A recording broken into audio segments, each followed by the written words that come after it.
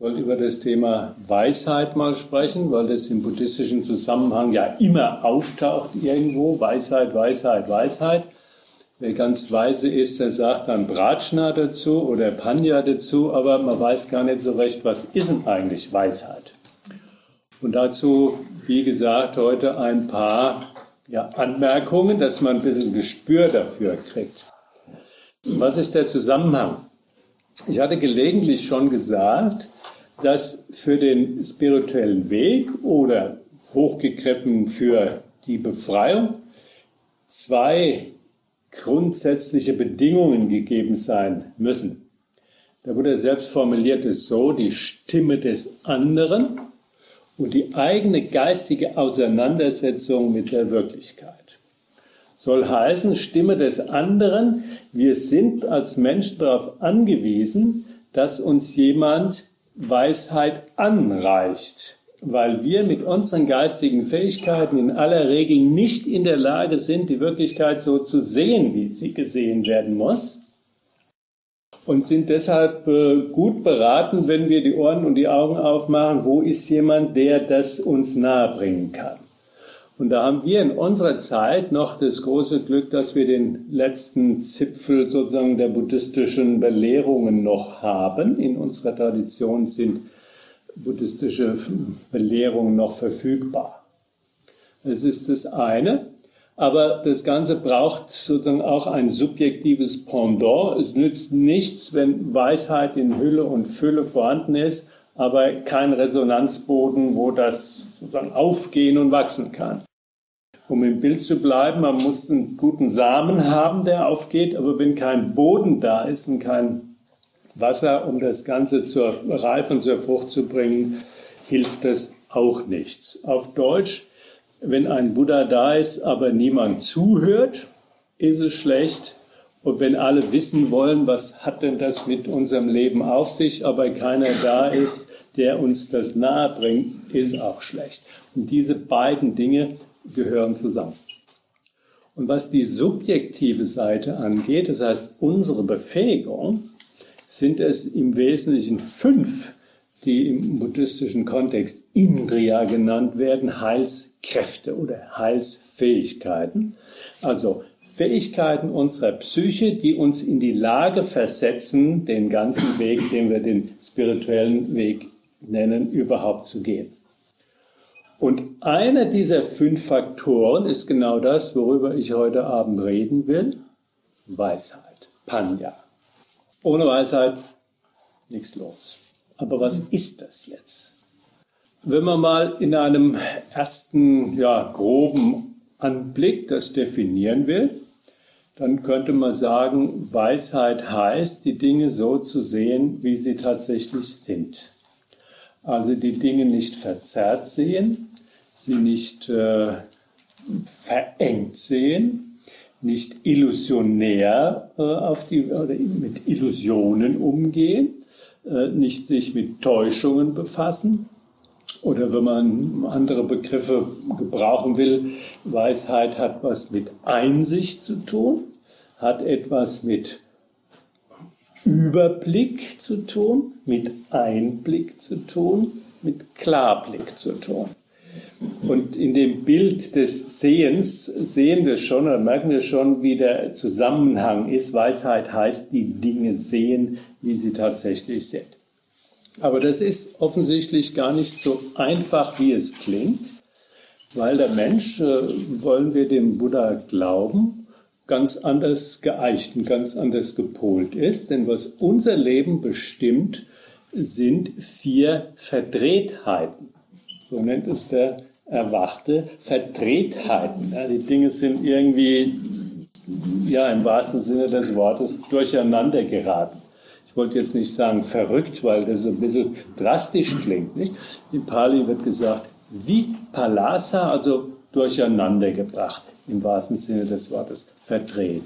So, was ist in unserer Auffassung verdreht? Was läuft da falsch? Nummer eins, wir halten Dinge, die vergänglich sind, irgendwie doch für beständig. was dauernd davon rieselt, was nie wirklich bleibt, was man nicht festhalten kann, da suchen wir doch das, wo wir glauben, das können wir doch irgendwie mal auf eine Zeit lang für uns behalten und einfach festklammern. Also die Dinge vergehen, aber wir meinen, irgendwas bleibt. Das Zweite ist, dass wir Dinge, die nicht befriedigend sind, die nicht taugen, ja, die keinen Wert haben, für wertvoll, für erstrebenswert, für glückbringend halten. Das Dritte ist, dass wir da auch noch eine Substanz sehen, etwas, was tatsächlich ist. Nennen wir das entweder Welt oder Ich. Wir glauben, dass etwas Kernhaftes da ist, obwohl es nur bedingte Erscheinungen sind. Und das vierte hat sehr eng mit uns zu tun, mit unserem eigenen Körper zu tun. Wir halten Dinge, die in Wirklichkeit gar nicht schön sind, für schön und attraktiv.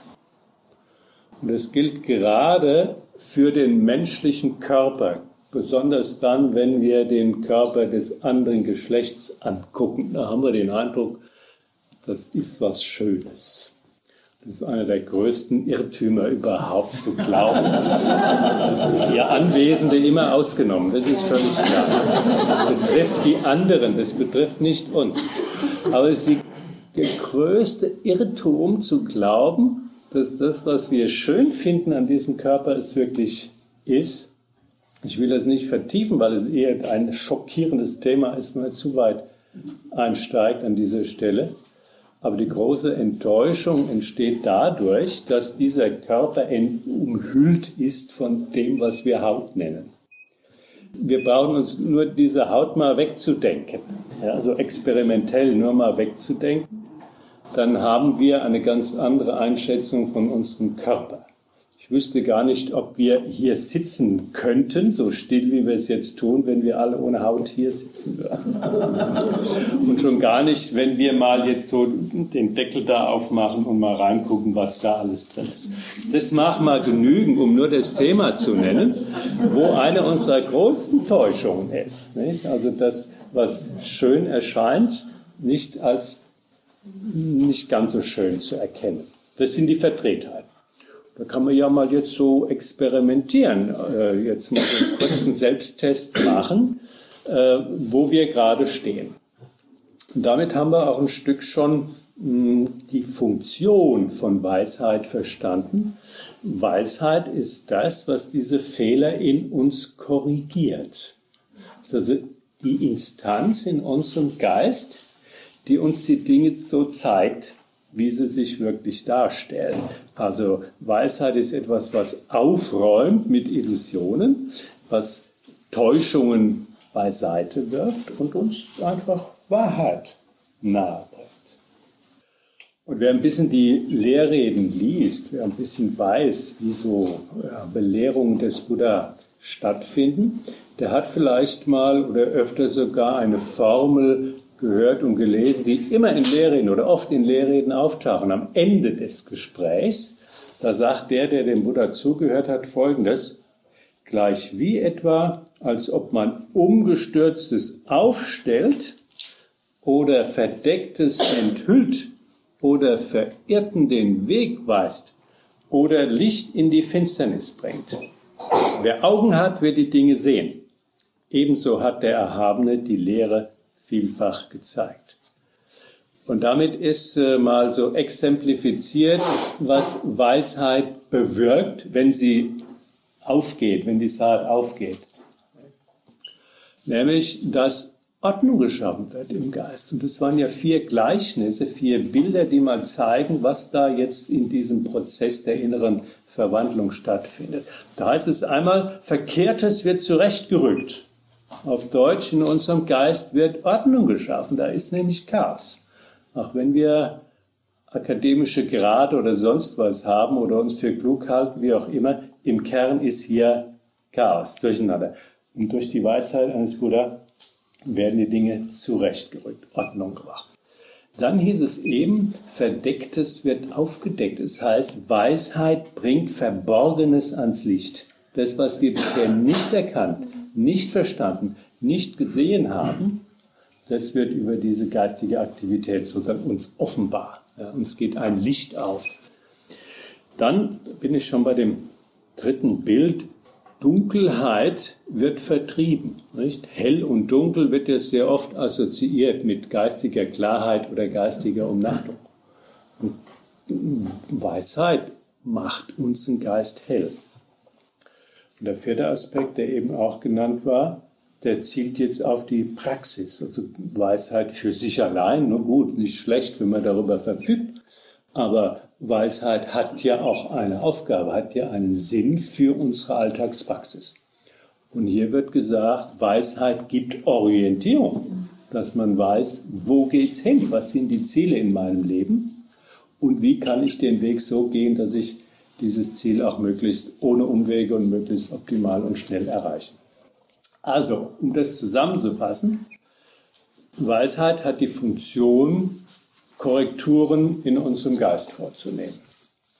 Was heißt das inhaltlich? Der Buddha hat 45 Jahre lang gelehrt, das wissen wir. Und er hat jedem sozusagen subjektiv die Häppchen gegeben, die der Betreffende vertragen konnte. Das heißt, er ist mit seinen Dharma-Belehrungen äh, nicht mit der Tür ins Haus gefallen, sondern hat das Ganze sehr sukzessive, stufenweise dargelegt. Nicht so, wie man in der Schule erst zählen lernt und dann bei Einstein landet und nicht gleich die Relativitätstheorie hat. Nicht? Das wäre ein bisschen zu anstrengend für unseren Geist. Aber so ist es bei den Dhamma-Belehrungen auch. Man wird hingeführt zu immer tieferen Einsichten und Betrachtungsweisen. Und den Einstieg, sozusagen die unterste Stufe, haben wir beispielsweise in unserem Januar-Tagesseminar gehabt, wo wir über Dana sprachen, über Geben. Das ist der erste Anfang, um überhaupt sich zu öffnen, sein spirituelles äh, äh Know-how ähm, zu beginnen. Also ist der Einstieg.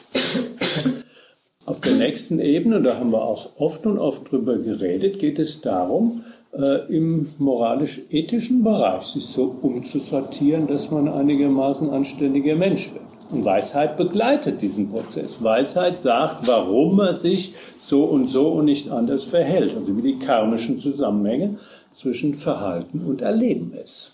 Das ist der zweite Themenbereich. Dritte Themenbereich, und ihr merkt, Weisheit weitet den Geist auf. Macht den Blick immer größer.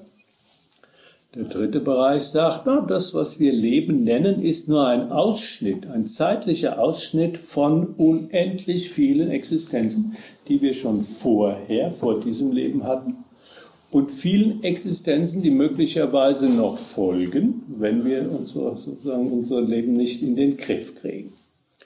Das ist die Belehrung darüber, dass es nach dem Tod so etwas wie Fortexistenz gibt, dass es so etwas wie unter- und übermenschliche Existenz gibt. Jetzt sind wir bei der Stufe 3.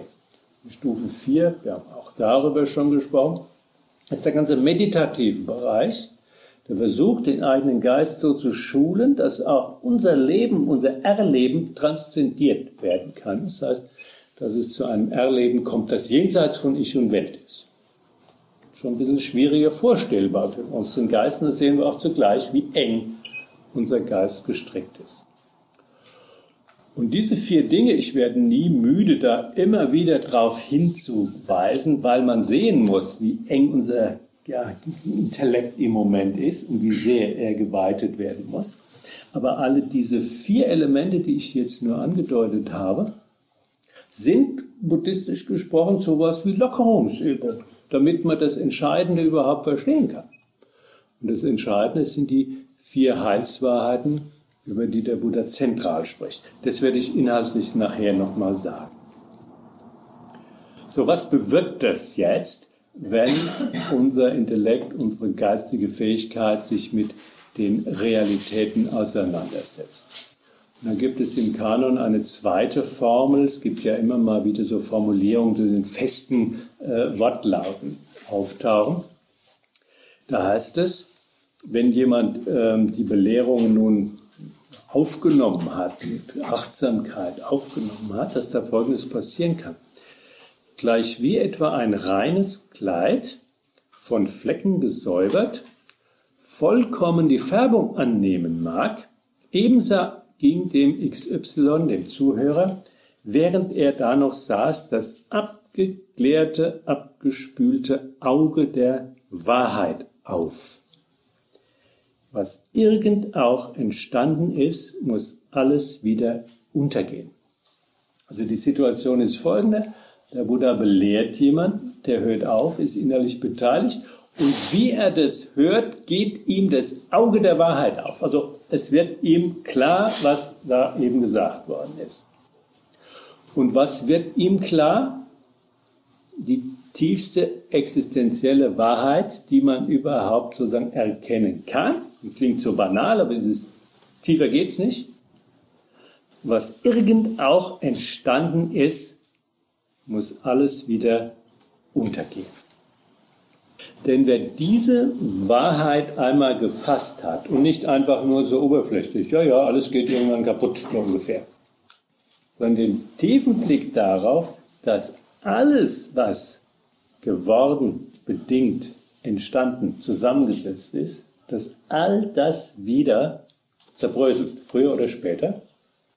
Diese Einsicht löst sozusagen eine Revolution aus in unserem Geist, auch wenn wir das vielleicht gar nicht mitkriegen, aber das fängt an wie Hefe zu wirken, dieser Blick auf Realität und baut uns die ganze Zeit um. Denn das ist jetzt die Einsicht, die die vier Verdrehtheiten, von denen ich vorhin gesprochen habe, geradezu aushebelt. Die erste Verdrehtheit war, Dinge für boah, dauerhaft zu halten. Ich will das nochmal erklären, dass wir das sehen. Äh, in unserem Leben heißt das, dass wir von dem Erleben her immer den Eindruck haben, ah, da bin ich doch, ich bin doch, ja, immer haben wir den Eindruck, äh, es geht doch mit meinem Leben voran, ob das schlecht ist oder nicht, aber das Leben schleppt sich voran. Wir sehen nicht, dass wir im selben Moment immer wieder auch Tod erleiden, weil im selben Moment, wo, wo wir sagen, ich lebe, geht etwas in uns kaputt, nicht? physisch. Zellen, Geister, Gedanken gehen verloren. Alles ist ja nicht nur aufsteigend, sondern alles verschwindet ja wieder. Und auf einer zweiten Ebene ist das so genauso unser Wille. Ja, wir wissen, ja, ja, irgendwann werde ich mal tot sein. Ja, trotzdem äh, marschieren wir immer diesen Weg voran, als wären wir unsterblich. Und das dritte nochmal, da geht es nochmal wirklich in das Illusionäre hinein, dass unser Geist auch noch Ideen und Weltbilder entwickelt, wo, wo, wo dann gesagt wird, ja, etwas bleibt in uns, das unsterblich ist. Ja, man kann es zwar nicht sehen, aber das gibt es tief in uns irgendwo ist das, das nennt man vielleicht die unsterbliche Seele, wie auch immer. Das sind Theorien, die da in der Welt ja, hausieren. Das sind die drei Ebenen, wo wir das Wandelbare nicht als solches akzeptieren, mit den gravierenden Folgen. Und Weisheit ist genau das Gegenteil. Diesen grundlegenden Satz nicht nur jetzt zu akzeptieren, sondern auch in der Realität zu erkennen, mit all den Folgen, die damit zusammenhängen. Und damit haben wir einen weiteren Aspekt von Weisheit zumindest schon mal sogar angetippt, dass Weisheit die Dinge umfassend sieht. Ja, nicht nur da mal ein Häppchen Wirklichkeit erkennen, da mal so ein, so ein Mosaiksteinchen, sondern Weisheit hat die Bedeutung oder die Besonderheit, dass sie das Ganze sieht. Vielleicht mal kontrastiert zu dem, was man Achtsamkeit nennt. Nicht die geistige Wachheit, die geistige Präsenz, die zeigt uns auch Wahrheit aber die zeigt uns die Wahrheit dessen, was im Moment ist. Nicht, was im Moment da draußen passiert oder was im Moment bei uns passiert. Wenn das äh, Sati, wenn das Achtsamkeit mitkriegt, dann ist es auch eine Form von Wahrheit. Aber es ist eben nur das Punktuelle, während Weisheit all das zusammensammelt, was so einzeln da in unseren Geist eingetragen ist und zu einem stimmigen Gesamtbild zusammenbaut. Und der Achte gibt drei Gleichnisse, um zu zeigen, dass dieser weisheitliche Prozess tatsächlich ein Prozess ist. Dass wir nicht auf einen Knopf drücken und dann ist sie da. sondern Weisheit ist etwas, was zunimmt, was wächst. Das eine Bild sagt, ne, das ist ein Wanderer, der unterwegs ist von einer Station zur nächsten Station und irgendwann mal wieder zu Hause ankommt. Und was macht ein Wanderer? Er hat eben nicht nur die beschränkte Erkenntnis dessen, was in seinem Heimatdorf ist. Das heißt, so klein, klein, was so zu unserem Weltbild gehört, sondern ein Wanderer durchzieht Existenz und schaut hier und schaut dort und hat dann ein Gesamtbild. Und das wird erweitert, indem der das nächste Mal auch noch auf einen Turm steigt und dann nochmal von oben guckt. Nicht? Also der, der Wanderer, der läuft, der hat immer die Dinge unmittelbar vor Augen. Aber jemand, der auf den Turm steigt und dann nach unten guckt, der hat einen ganz anderen Überblick. Und das ist ja auch der wichtige Aspekt von Weisheit, sozusagen das Ganze von oben zu sehen, Einblick zu haben und nicht nur ja, wie sagt man denn, wenn man so ein Brett hat vor dem Kopf, sieht man das Brett, ja, aber das ist ganz nah, aber sonst sieht man nichts. Und das letzte Bild, das ist vielleicht noch das subtilste dabei. Da ist jemand, der an einem See steht, wo klares Wasser drin ist und dann guckt, was sich da auf dem Boden bewegt. Ja, die Fische und die Steine und die Pflanzen, die da wachsen. Und das drückt sehr gut eine Funktion oder auch eine Eigenschaft von Weisheit aus, nämlich aus Abstand die Dinge sehen. Nicht in Gewühle sein, sondern mit einer gewissen Distanz, also nicht hineingezogen in das äh, Wirbeln unserer Existenz, sondern ein Stück zurücktreten, auch emotional zurücktreten und von dieser Position einfach zu sehen, was tut sich denn da alles. Ja, fragt man jetzt äh, spätestens, ähm, was halt, nee, ich muss noch eines ergänzen, sonst wird das mit dem Umfassenden zu wenig, weil wenn ich darüber rede, dass wir die Dinge umfassend sehen sollen, dann rede ich auch darüber, dass wir sie in Zusammenhängen begreifen. Es gibt ein chinesisches Sprichwort, das sagt nicht, der Dummkopf, der Tor betrachtet die Phänomene, aber der Weise betrachtet die Herkunft der Phänomene. Und da sind wir auch äh, so ausgerüstet, dass Nachholbedarf besteht. Wir gucken uns auch die Dinge an, wie sie da auftauchen. Es tauchen ja dauernd neue Lebensdinge auf, dauernd neue Objekte. Aber Weisheit heißt zu fragen, wo kommen sie her? Warum sind sie da? Was sind die Gründe, dass sie da sind? Und da gibt es zwei Antworten. Die eine auf der anschaulichen Erlebensebene ist die Lehre des Buddha von Karma. Der Warte sagt, warum erlebt ihr all das, was ihr erlebt? Weil ihr es euch früher selbst gewirkt habt. Ursache und Wirkung.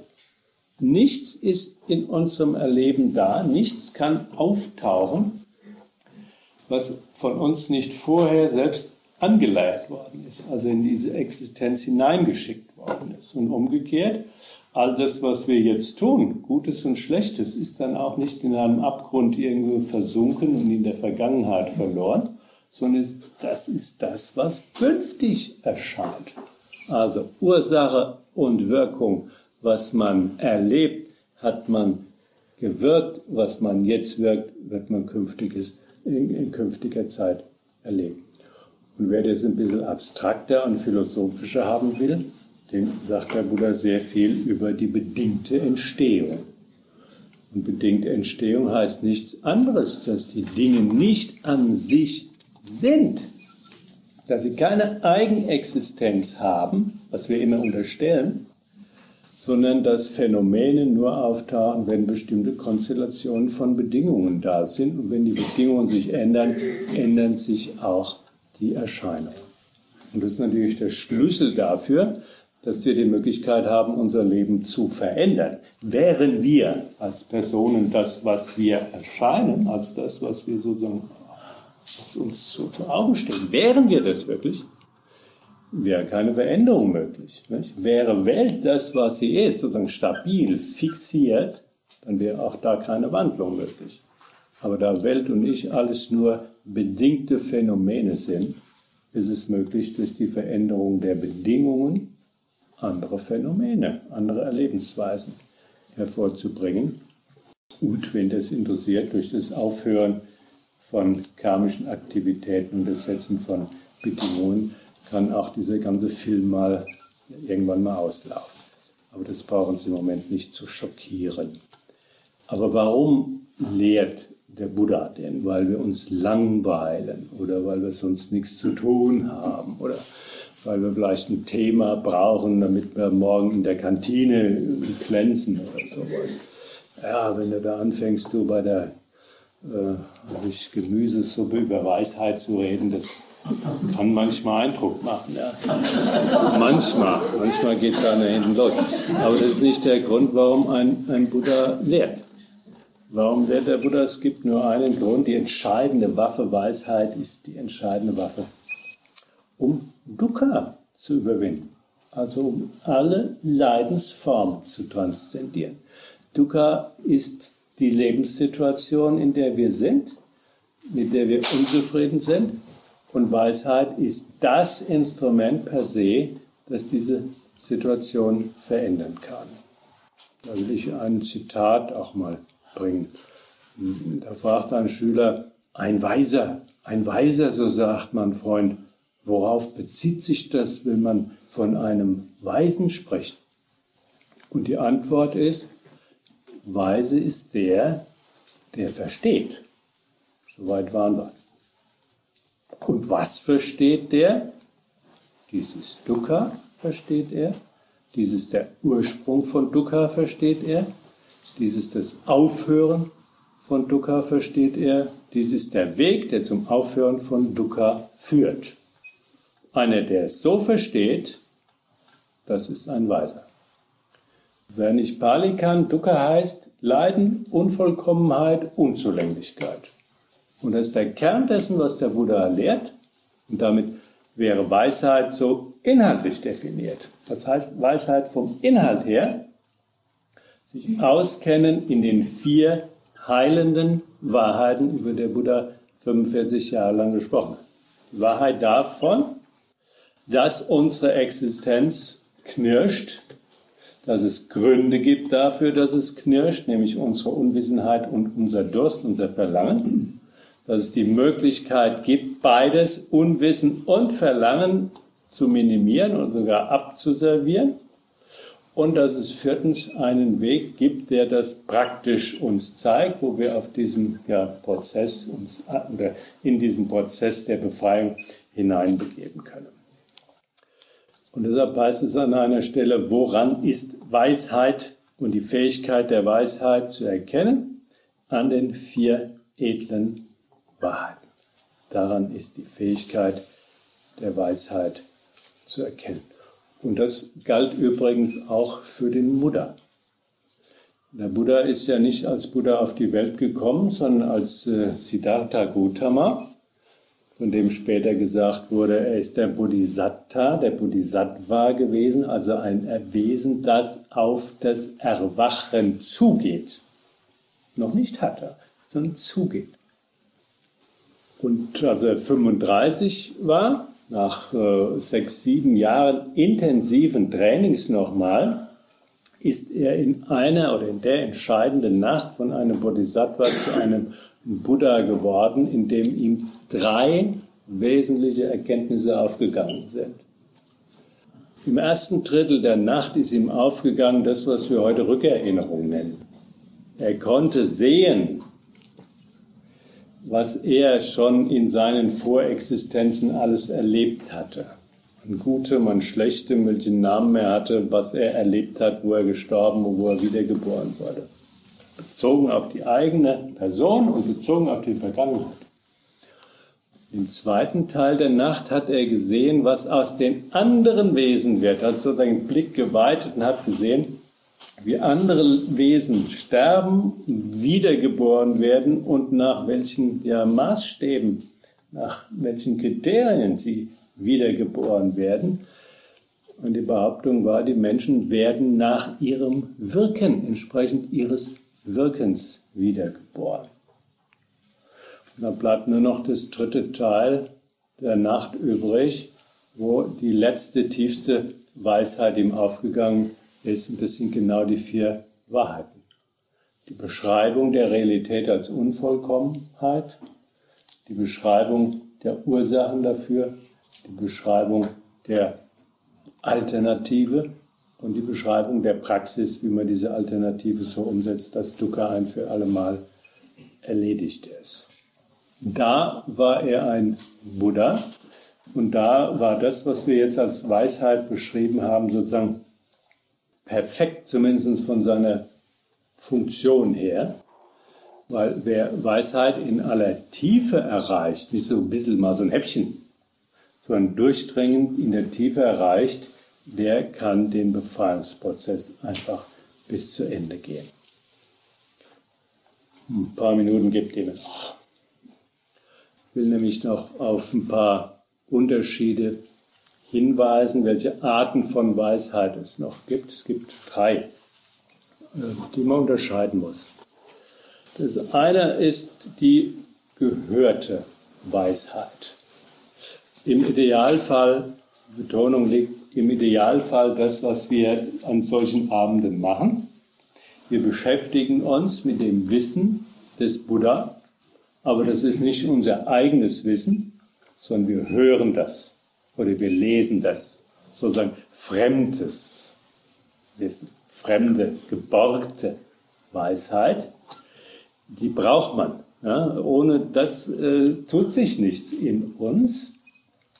Das ist das einfach gesprochen, was wir über, über die Lehren hören, was wir uns aneignen, was unser Intellekt sozusagen aufgreift und da zu einem Bild, zu einem Gesamtbild konstruiert. Das ist auch der Grund, warum der Buddha gelehrt hat, um diese Art von Weisheit anzubieten. Wäre die nicht in der Welt, dann würde das auch nicht bei uns irgendwie auf fruchtbaren Boden fallen. Also das sind die Inhalte der Lehre. Und diese Inhalte, wenn wir sie denn einigermaßen verstehen, bewirken in uns, dass wir sowas wie ein Grundvertrauen fassen. Ah, da ist was dran. Ja, dieser Botschaft gehe ich nach.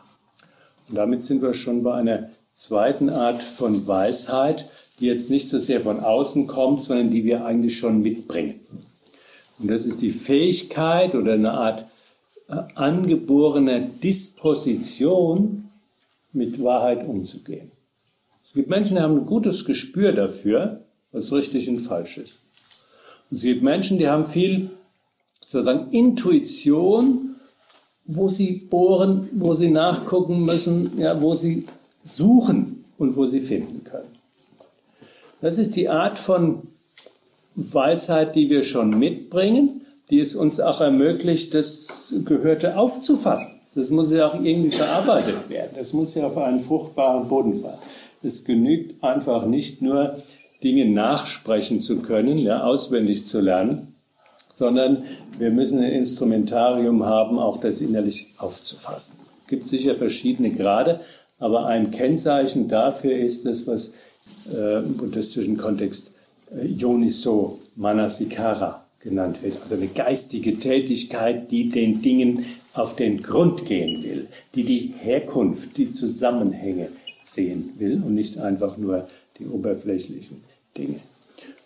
Und das kann, sage ich mal, ein bisschen provozieren. Diese Art von Weisheit kann bei den dümmsten Leuten vorkommen, weil es gar nichts mit Intellekt zu tun hat. Es hat gar nichts damit zu tun, ob man Schulen besucht hat und äh, Diplome hängen hat zu Hause irgendwo an der Wand, sondern es hat damit zu tun, ob unser Geist offen ist für die tieferen Dinge der Welt, für die tiefen existenziellen Fragen, ob wir auch Fragen stellen, ob wir wissen wollen, oder ob es uns genügt, wenn wir die erste Seite der Bildzeitung sozusagen uns angucken und sagen, oh ja, dann bin ich halt informiert.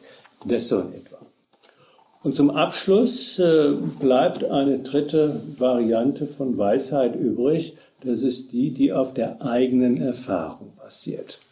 Und das ist die, die am, am überzeugendsten natürlich ist. Na, wenn ich euch irgendwas erzähle, so und so verhält sich das, dann sagt ja, gut, in Ordnung, hört sich ja ganz gut an, weiter, das nächste, so ungefähr.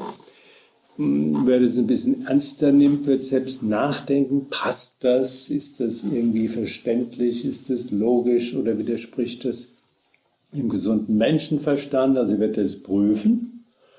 Und ein Dritter wird der Sache auf den Grund gehen und wird irgendwann aus eigener Erfahrung sagen, jawohl, das ist tatsächlich so.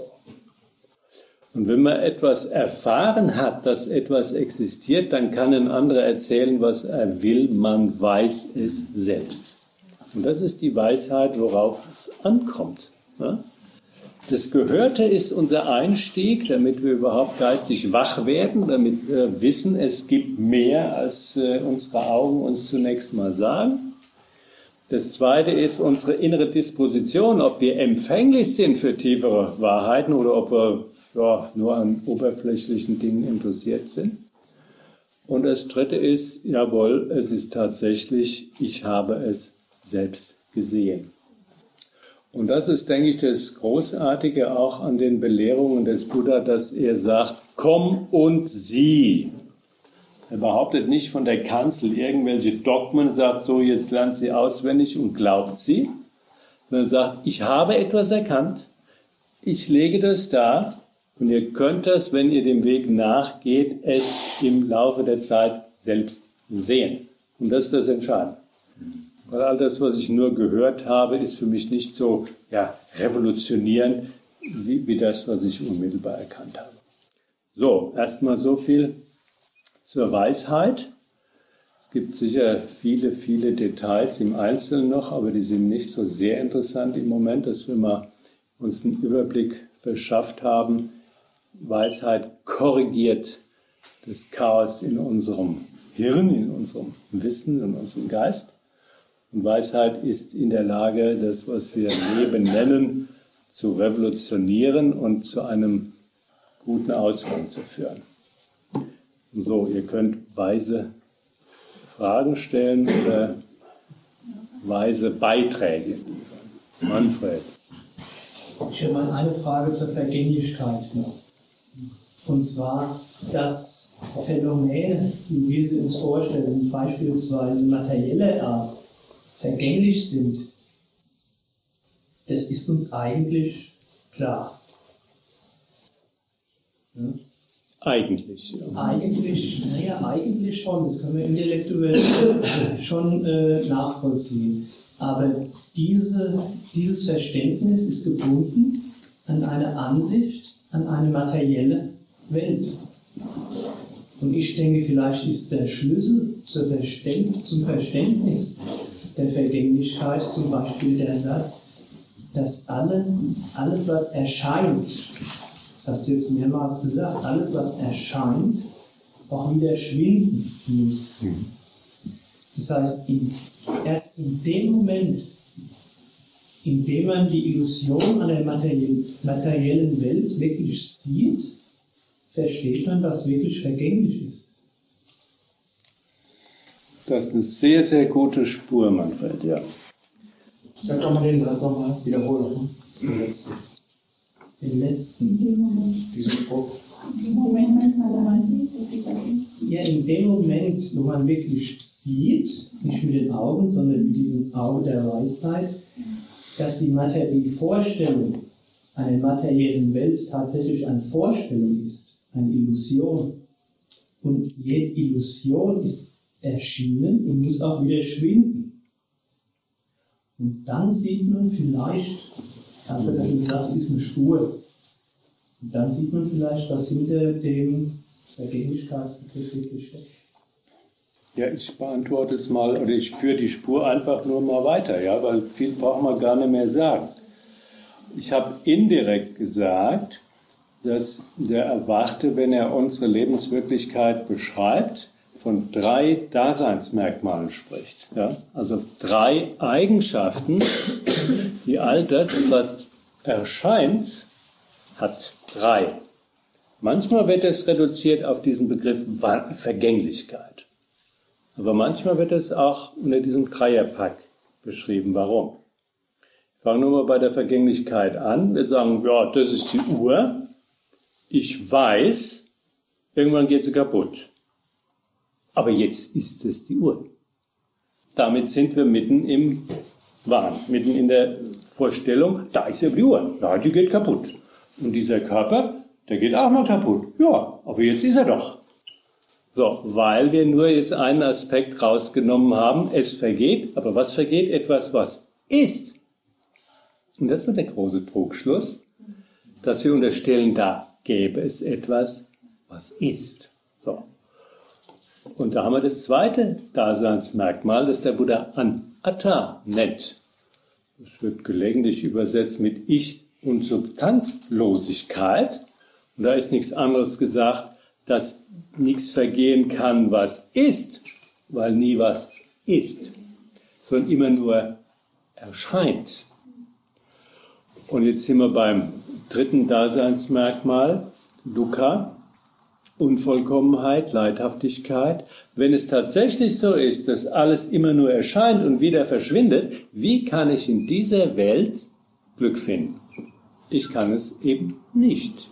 Ich kann es immer nur häppchenweise für kurze Zeit, weil alles, das haben wir mehrfach festgestellt, was erscheint, verschwindet wird, heißt auf Deutsch, ich kann nichts festhalten. Ich kann diesen Körper nicht festhalten, ich kann nicht mal den eigenen Geist festhalten, ich kann gar nichts festhalten.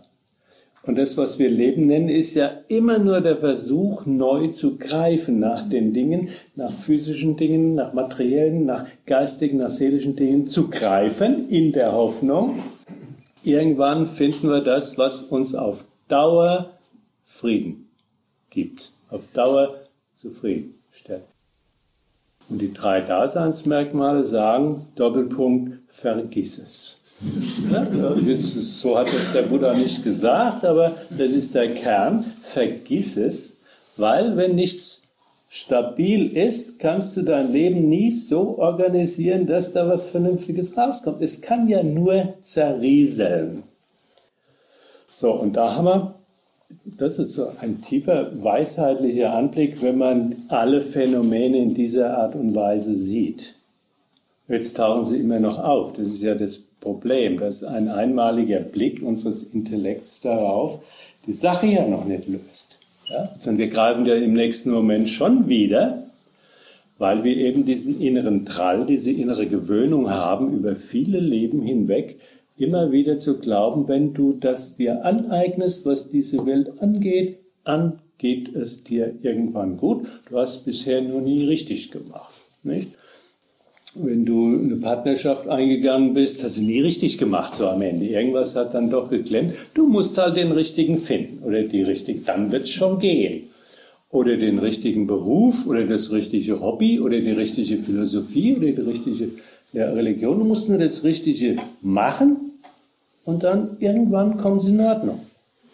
Und da greifen diese drei Daseinsmerkmale, die für alle Erscheinungen gelten. Es gibt keine Ausnahme. Deshalb brauchen wir gar nicht weiter zu suchen, ob es sie doch gibt, sondern wir sollten diesen weisheitlichen Prozess fortsetzen, ja, sozusagen äh, in uns wirken lassen und anzufangen, das, was sowieso nicht taugt, nicht zum Götzen unseres Lebens zu machen. Und dafür vielleicht auch noch schlimme Dinge zu tun. Ja, das ist ja das Verrückteste dabei, ne? dass wir Dinge, die nichts taugen für unser äh, Glück, dann auch uns dadurch noch erwerben, dass wir es äh, uns aneignen, obwohl es uns nicht gehört. Das heißt, dass wir alle die ethischen Regeln übertreten, die das Ganze noch schlimmer macht. Ja. So viel zu dem, was du gesagt hast, ist mit der Kernpunkt überhaupt. Ja. Die Qualität der Dinge, Dinge ist schon falsch, ja. Dinge ist schon eine Unterstellung, da ist doch was. Ja. Erscheinung kommt hoch und geht wieder. Das ist unsere Existenz. Das ist wie ein Film. Beim Film wissen wir das. Da hinten steht der Projektor, der wirft da was auf, auf die Leinwand. Da wissen wir, dass das Bilder sind, die erscheinen und wieder verschwinden. Nur wenn wir unaufmerksam sind und die sich kriegen da jetzt im Film, ne? und dann freuen wir uns, dass sie sich kriegen und weinen vielleicht auch, wenn sie sich nicht kriegen oder so, weil wir in dem Moment nicht merken, dass es ein Film ist, dann werden die Personen zu Personen und die Dinge zu Dingen. Aber wenn einer sagt, komm, ist doch nur ein Film, ach so, ja, dann äh, hat man ein Stück Distanz. Und diese Art von Distanz könnten wir ja in Bezug auf unser Leben auch noch ein bisschen wenigstens entwickeln. Und das wäre das Bild von diesem See, wo man ein bisschen nach draußen geht und dann mal in den See unseres Lebens hineinguckt und feststellt, ja, das sind doch nur Fische, die da hin und her schwimmen, aber nichts wirklich Greifbares. Was heißt das? Was gibt es zu tun? Wahrnehmen und nicht anhaften. Oder? Das wäre die Lösung, ja, aber das ist das Allerschwierigste im Leben überhaupt. Aber es ist die Essenz. Das ist die Essenz. Ja? Der, der Erwachte macht es uns ein bisschen einfach oder vereinfacht es, indem er sagt, okay, greift ruhig zu. Ihr könnt gar nicht jetzt äh, von heute auf morgen das alles einstellen, aber greift so zu, dass ihr niemand anderen verletzt, dass ihr nicht auf Kosten anderer genießt. Ja? Und wenn man das geschafft hat, dann merkt man auch, dass man viel Schrott einfach hat liegen lassen. Und dann kann man sich überlegen, was ist jetzt der Schrott, das Überflüssige, was ich liegen lasse. Aber das Kerngeschäft ist das. Ja? Bei Erscheinungen nicht sagen, komm her, ich will dich haben. Oder auch nicht sagen, hau ab, ich kann dich nicht ausstehen, verschwinde, ähm, ja, geh kaputt oder sowas. Ich hätte es gerne noch ein bisschen tiefer. Nämlich, das klingt ja alles so, zum Beispiel dieser Satz, alles entsteht im Geist. So, prima. Und wie Sie es auch gesagt haben, ja, man muss nur erkennen, dass das eigentlich vergänglich ist und so. Ich behaupte mal, dass die Mehrzahl der Menschen, ja, gehen wir mal davon aus, die Hälfte jetzt mal der Menschheit, schon weiß, dass am Ende des Lebens der Tod steht. Und dass es schon weiß, ähm, dass wir alt werden. Das sehen wir ja. Ich sehe täglich alte Menschen, sehe, dass sie gebückter werden, sehe, dass Leute krank werden. Also ist ja nichts, was äh, unserem Geist sich entzieht. Ähm, und trotzdem haben wir ja Panik, ne? kriegen wir ja Panik, wenn es uns selbst betrifft. Also wäre die Frage doch einmal, wie ist der Begriff des Zweifels oder, die Exist oder des Daseins des Zweifels wie ist das im Zusammenhang mit der Weisheit zu sehen? Hätte ich einmal gerne, ob Sie da was zu sagen können. Und das Zweite wäre, was ist es denn wirklich, was verhindert, dass das, was man ja eigentlich schon erkennt, nicht emotional letzten Endes nicht wirklich fließen kann?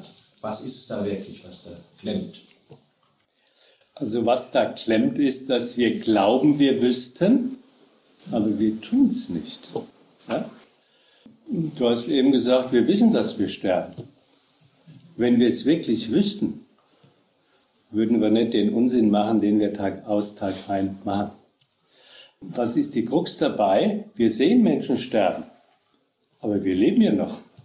Das ist doch gerade die Verdrehtheit. Wir sehen andere sterben und im eigenen Erleben ist immer, ah, ich bin doch da. Und genau das ist, was zutiefst suggeriert, Lass sie doch, das ist deren Problem. Aber ich bin ja da, du siehst es doch. Wenn wir es wirklich wüssten, dann würden wir doch nicht die schalen und billigen Vergnügungen äh, immer wieder sozusagen äh, haben wollen, denen wir nachgehen. Nicht früher hatten die Menschen einen Schädel auf dem Kopf, Memento Mori, erinnere dich dran, so bist du bald. Das ist doch heute völlig ausgeblendet. Ja? Also dieses wirkliche erfassen nicht das Wissen, das intellektuelle Wissen, das kann man abfragen, sondern das intuitive, permanente Sehen, dass nur Wandel ist, dass nur die Dinge verschwinden. Aber, aber Sie würden doch jetzt nicht behaupten wollen, dass ähm, wir, zwar, wir zwar sagen, ja, natürlich, Leute sterben, das sehen wir, ja, plötzlich ist der nicht mehr da, aber ich lebe ja noch. Aber Sie werden mir doch nicht jetzt behaupten wollen, dass mir nicht klar ist, dass auch ich dran sein werde. Ich habe doch nicht den Glauben, weil ich noch da bin, währenddem jetzt mein Nachbar schon gestorben ist, es könnte an mir ja vorüberziehen. Es ist an niemandem vorübergezogen, sonst würde ja noch irgendwelche Leute aus dem Barockzeit noch hier sitzen. Ja? So, das heißt also, ich weiß doch, dass ich sterben werde. Das ist mir zu einfach. Es muss noch was anderes sein, was mich dann dazu bringt, trotzdem dran vorbeizulaufen. Ja, äh, das habe ich auch vielleicht nicht deutlich genug gesagt. Wir sind ja eben nicht nur Intellekt. Und Weisheit ist ja etwas, was auf der Verstehensebene funktioniert. Aber wir sind ja auch noch Wesen, die einen Körper haben, das sind wir uns, glaube ich, auch einig. Und wir sind Wesen, die, wie soll ich das sagen, geballte Ladungen von Gewohnheiten sind. Ja? Christlich kann man das Seele nenne. Ich nenne das mal geballte Ladungen von Gewohnheiten. Das heißt, ich will das, ich will jenes und ich will das nicht und jenes nicht.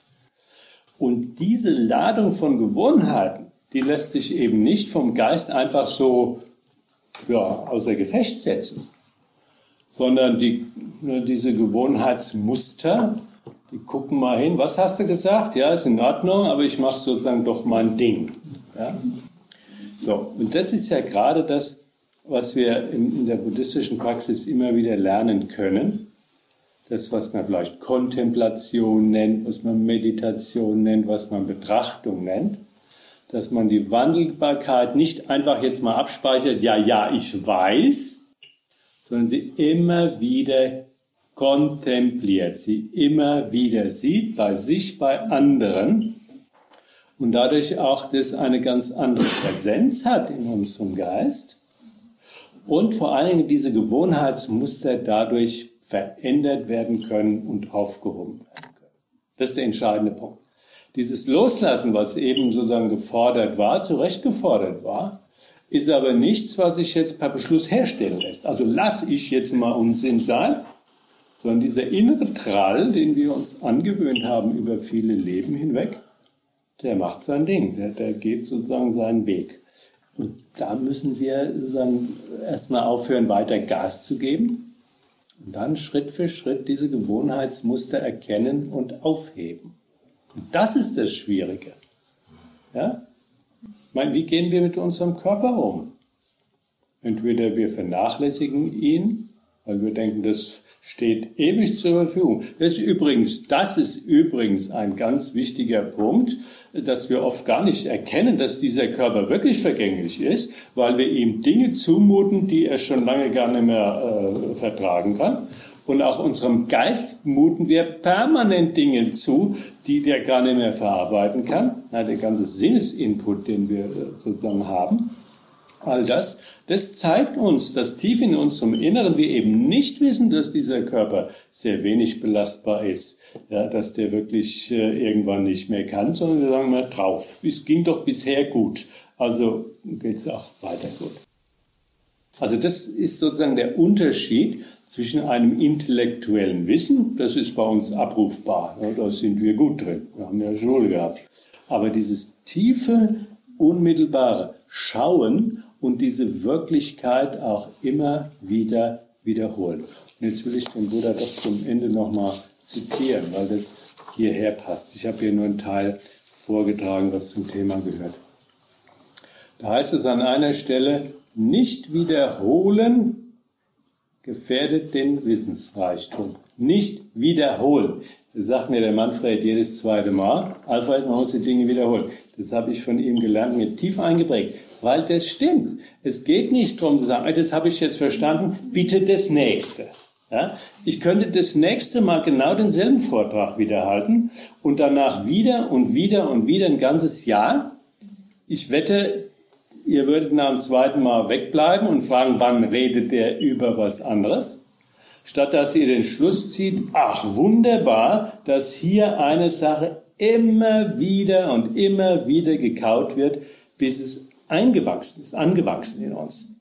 Und das ist unsere große Problematik. Wir wollen immer neuen Input, immer neue Ideen, immer neue Vorträge, immer neue Bücher, immer neue Lehrer und haben das, was wir bisher angehäuft haben, noch gar nicht verarbeitet, noch gar nicht wirklich gekaut.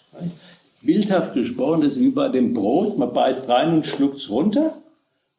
Aber jeder Bäcker behauptet, wenn du Brot lange kaust, dann wird es süß.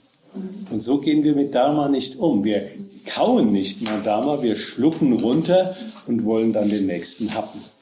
Also nicht wiederholen gefährdet den Wissensreichtum, nicht gut hinhören und keine Fragen stellen gefährdet den Reichtum.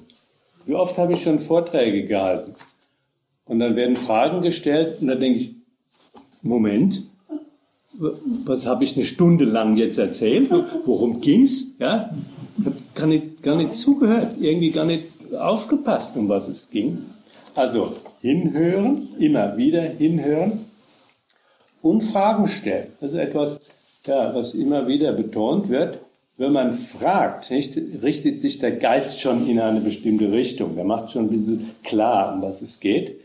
Und nur wer fragt, kriegt eine Antwort. Wenn ihr fragt, bleibt sozusagen in seinem Verständnispotenzial.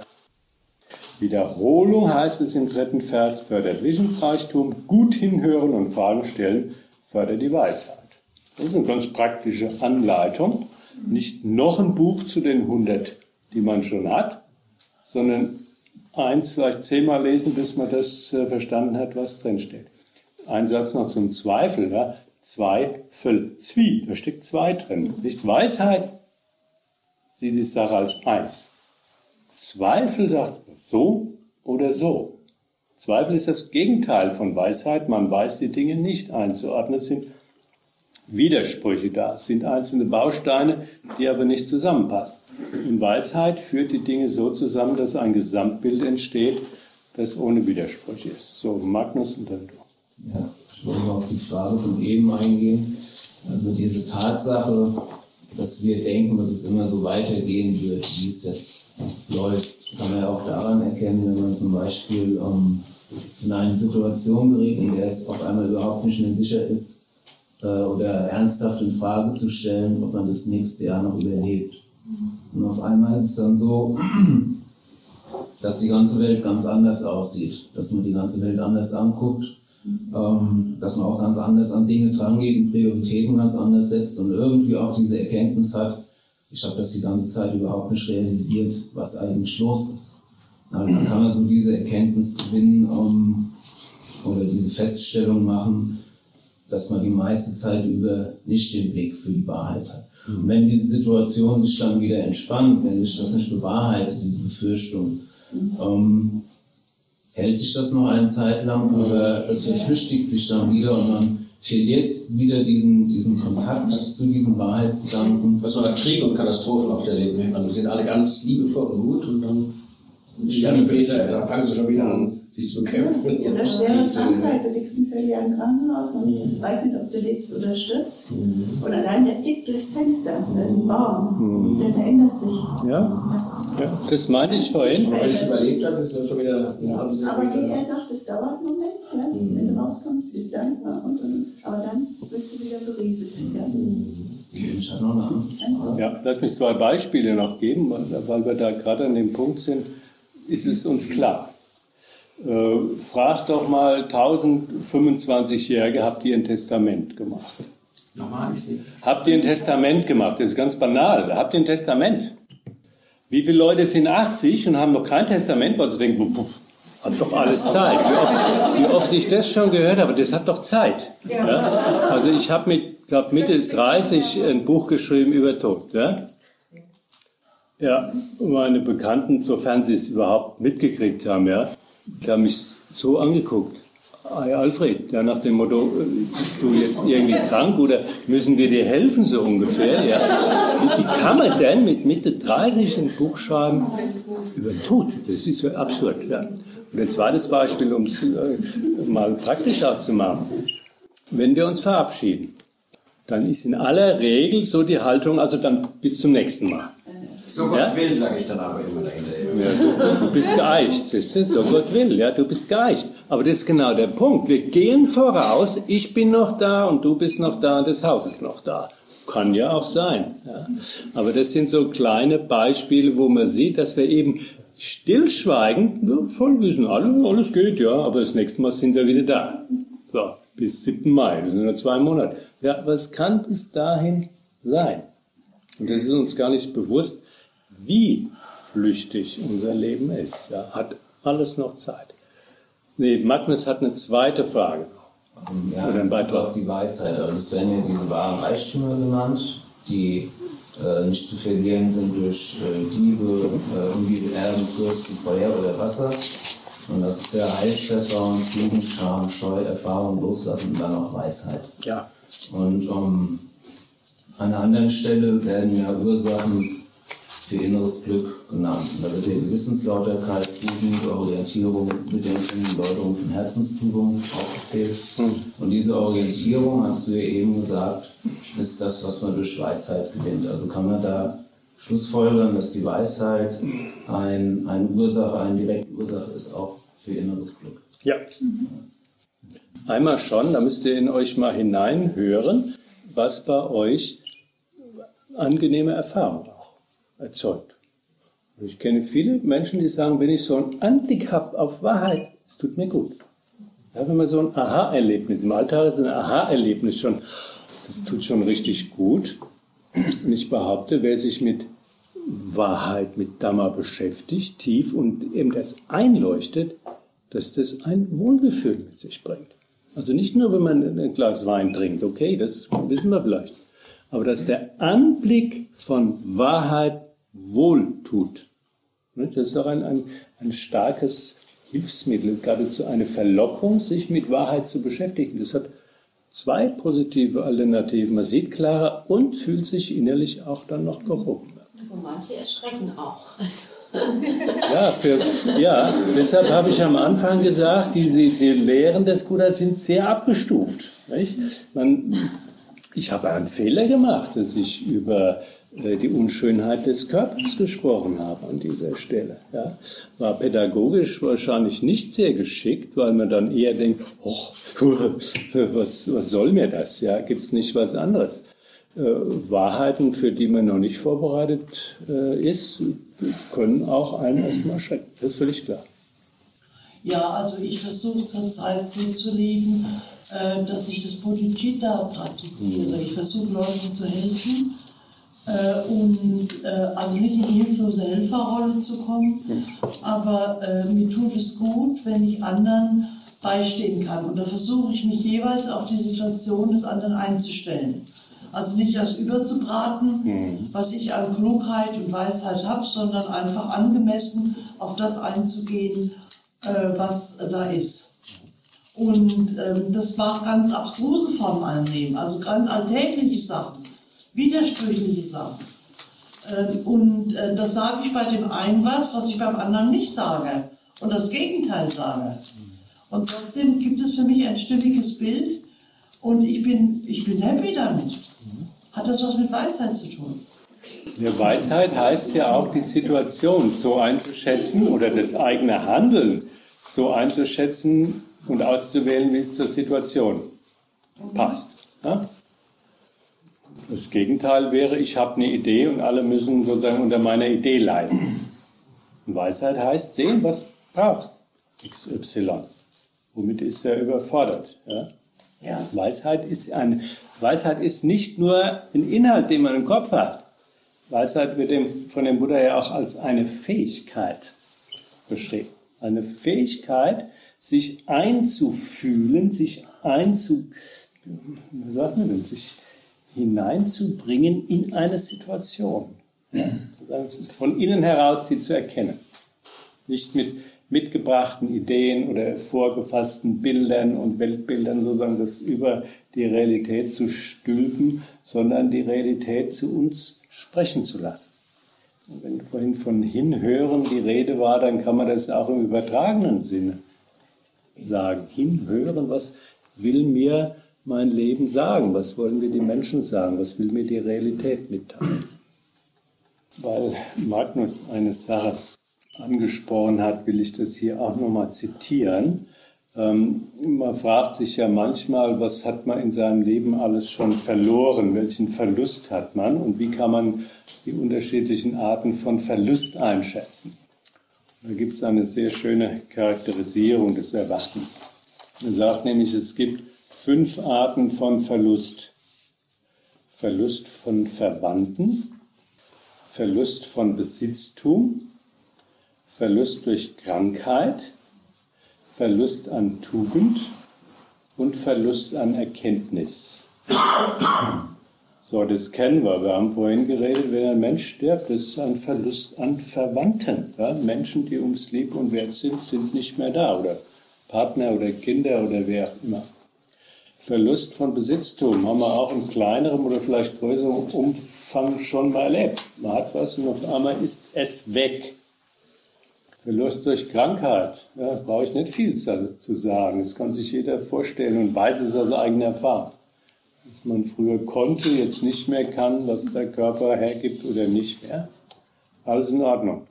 Dann Verlust an Tugend, also an ethischem Verhalten, wird man vielleicht in unserer Welt gar nicht mehr so, so als Verlust empfinden. Ja, was soll's, geht mir doch einfacher damit, stört mich mein Gewissen nicht mehr so ungefähr.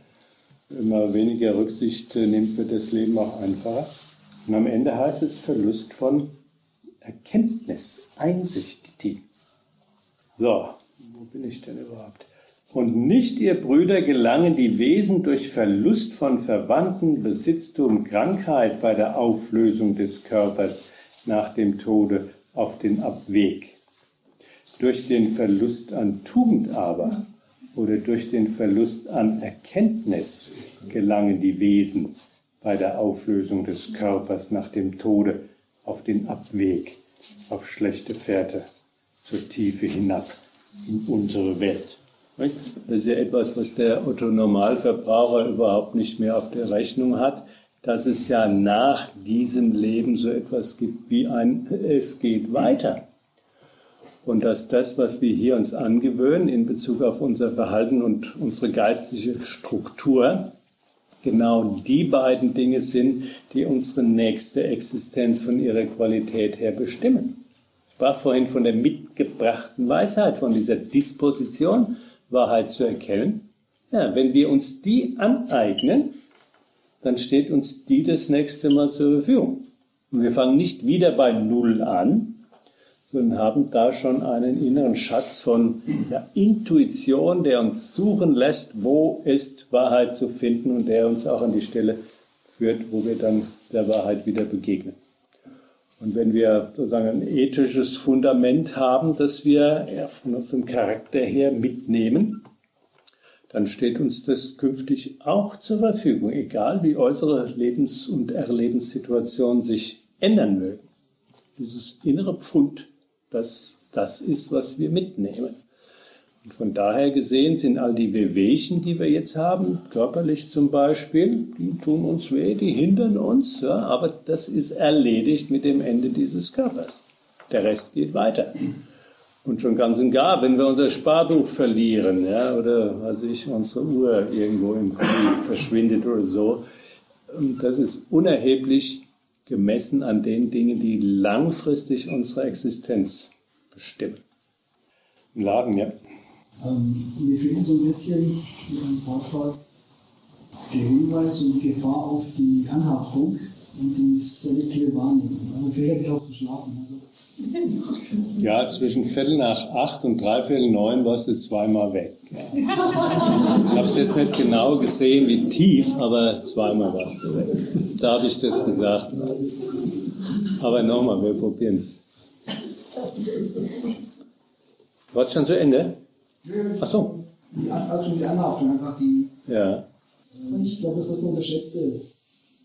Ähm, ja, anhaften heißt ja eigentlich, also ich mag den Begriff anhaften. Ich, der ist sehr gebräuchlich. Ich weiß, was damit gemeint ist, aber äh, er trifft nicht wirklich das, was der Pali-Ausdruck sagt. Anhaften heißt ja so, ich klebe dran, ja. Aber eigentlich heißt es nach den Dingen greifen, sie ergreifen. Und ich sage, das ist die Kehrseite von Weisheit. Weisheit sagt, das taucht nichts. Und wenn das präsent ist, greifst du nicht nach etwas, was nicht taucht. Wenn man nach Dingen greift, im wörtlichen und übertragenen Sinne, dann heißt es, in dem Moment ist Weisheit nicht da, weil du erwartest von dem Ding etwas, was das Ding dir nie bringen kann. Das zweite habe ich jetzt nicht mehr. Die selektive Wahrnehmung. Selektive Wahrnehmung, Ja, Die geprüfte Wahrnehmung Ja. aus der Anhaftung heraus. Ja, das ist sozusagen auch eine Variante von Nichtwissen, fehlender Weisheit. Ich sage ja, Weisheit ist das ganze Sehen. Und das ganze Sehen kann man definieren als den Ursprung sehen, also die Herkunft und das Phänomen selbst. Das ganze Sehen heißt aber auch den Wert einer Sache erkennen. Und wir gucken immer nur, was bringt uns das? Also was ist das Verlockende dabei? Was ist das Befriedigende dabei? Und der Erwachte empfiehlt, alles zu sehen dabei. Also was ist das Angenehme? was ist der Haken dran und wie kommt man los davon. Das ist Weisheit, also diese drei Dinge sehen. Und wenn wir ergreifen, ergreifen wir deshalb, weil wir immer nur eine Seite, die Schokoladenseite der Dinge sehen, das, was sie uns versprechen. Ja? Wenn du mich kaufst, wenn du mich nimmst, wenn du mich hast, geht es dir gut. Das sehen wir, das glauben wir und dann greifen wir nach den Dingen. Und erst wenn wir es haben, sehen wir, ja, das ist ja doch anders, was die Reklame verspricht, hält das Produkt in der Regel nicht. So, und das haben wir dann wieder vergessen, weil bei dem nächsten Mal kam dasselbe wieder auf. Ach, wie schön, ach, wie prima, hätte ich gern, brauche ich, her damit. Und Weisheit heißt, guck dir alles an, sieh die Vorteile, sieh die Nachteile und sieh vor allen Dingen, ob es etwas gibt, was eine bessere Alternative ist. Aber das hieße doch letzten Endes, wenn, wenn jetzt hier schlagartig, was ja nicht passieren wird, alle so die tiefe Erkenntnis hätten, würde die Wirtschaft hier doch zusammenbrechen, würde alles zusammenbrechen. Wenn, wir nicht mehr in den Kaufhof gehen würden und da, ich war ja heute auch was einkaufen, und, und wenn ich, ja, ich sage dann manchmal schon, das brauche ich nicht und dann gehe ich weiter, ja. Ähm, aber die Verkäuferin ist natürlich sehr bemüht, mir zu sagen, dass ich es brauche und dass mir das besonders stehen würde und mich besonders männlich macht oder mich besonders jung macht oder was auch alles. Das heißt, wenn ich Nein sage, hat sie natürlich nichts verdient. Ne? Also komme ich oft in so einen Konflikt, dass ich sage, aha, hätte ich es vielleicht kaufen sollen, hätte es auch was verdient. Und das andere ist natürlich, dass ich mir sage, ja, genau diese Frage. Wenn wir jetzt plötzlich wirklich so tief in die Erkenntnis kämen und würden es alles sein lassen, auch diese ganzen Sachen in die Zukunft. Ja, ich habe schon Termine für 2017. Das geht dann teilweise schon jetzt los, wo, man eingeladen wird für Kongresse oder wie das ist. Ich, ich kriege immer Probleme, überhaupt noch zuzusagen, weil ich, ich sage dann immer, ich weiß ja gar nicht, ob ich da noch lebe. Dann sagen die Leute immer zu mir, ach, Sie sind doch noch so jung, Sie sind doch nicht krank, Sie sind doch rot. Ja, ich habe gesagt, aber das kann einem ganz schnell passieren, bis 2016, 17 sind noch zwei Jahre dazwischen, ja. So, aber was macht man da? Sie kriegen ja auch dauernd Termine für 2015, 16. Nehmen Sie die schon an oder sagen Sie, fragt man in 2016 an? Aber dann sagen die Leute, wir können nicht planen, ohne, wenn Sie nicht zusagen. Also um das konkret zu sagen, ich nehme immer weniger Termine an. Ich nehme immer weniger Termine an. Ja, das ist auch eine Form von, ich bin wichtig und ich werde die Welt retten und das ist auch eine Form von Anhaften und ich lasse das tendenziell auslaufen. Und da sind wir bei einem Problem, was überhaupt kein Problem ist. Wenn plötzlich alle weise würden. Das ist die einzige Sorge, die ich nicht habe.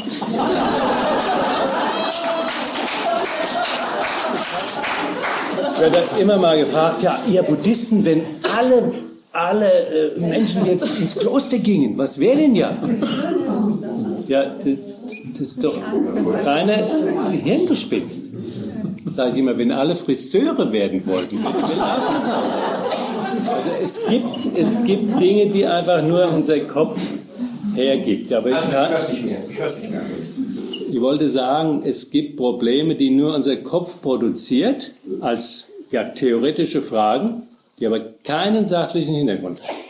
Schon zu der Zeit des Buddha, wo wirklich eine spirituell aufgeladene ja, Gesellschaft da war, Situation war. Auch nur ein kleiner Teil, sozusagen, äh, Mönche und Nonne geworden. Die anderen haben ihren Beruf weitergehabt und ihre Familie weitergehabt, weil es auf der Ebene ja auch schon genug zu tun gibt. Wir müssen doch nicht alles loslassen auf einmal. Das können wir nicht und wollen wir nicht, sondern das Gröbste, das Unsinnigste, das Blödeste erstmal lassen. Haben wir schon genug zu tun. Und wenn das erledigt ist, dann ist das Nächste das Dümmste und Primitivste und ne, abschichten. Und so wie unsere Gesellschaft diese Konsumdramatik ja, sich aufgeschichtet hat, gesellschaftlich, so könnte sie sich auch abschichten, aber das sehe ich nicht.